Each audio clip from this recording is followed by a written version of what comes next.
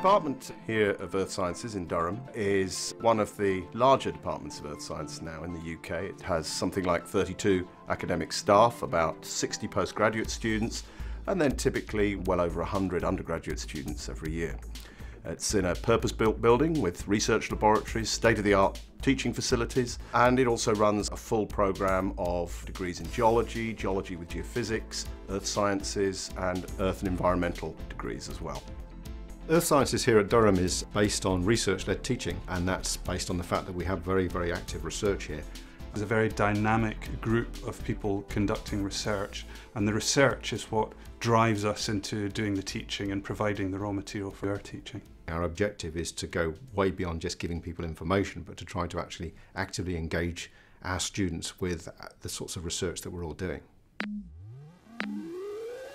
If you come to Durham, it's a unique experience because you're coming to a department that has a number of world-leading state-of-the-art research and teaching facilities.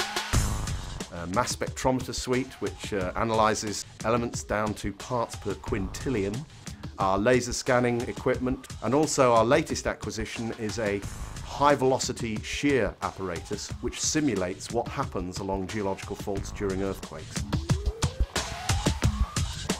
When I first applied to Durham University, what originally attracted me to the department was the fact that the course actually covered a broad range of topics. A lot of geology involves travelling and working outdoors. That's for me a real perk. The sorts of places that trips uh, are going to, a place like South Africa, uh, Cyprus, but also fantastic geology on our own doorstep that we should never ignore.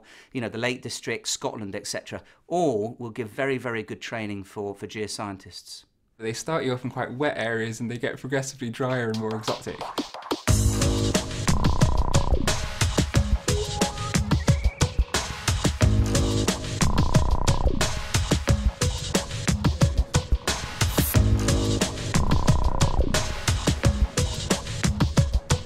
The facilities here are really good. Like we've got really new lecture rooms, as you can see here. The support base of the course is really, really good. Um, for me, I'm partially sighted, and the department have been really, really good in helping me with the problems faced. Students who graduate from our degrees go on to work in a range of different areas. A large number of people go on to be professional earth scientists, many of them conducting research or doing further training in master's programs. A large number of people go into petroleum and energy related work. We also have a large number of people who go on to work in other industries that have absolutely nothing to do with the earth sciences. They've come here and studied to do their degree, they've had lots of great learning experiences, They've acquired lots of skills that will help them in a wide array of jobs. We're right in the middle of absolutely beautiful countryside, the quality of life is high, and Durham University is a fantastic jewel right in the middle of County Durham. I lived in um, uh, Durham Castle for my first year and it's just a real privilege.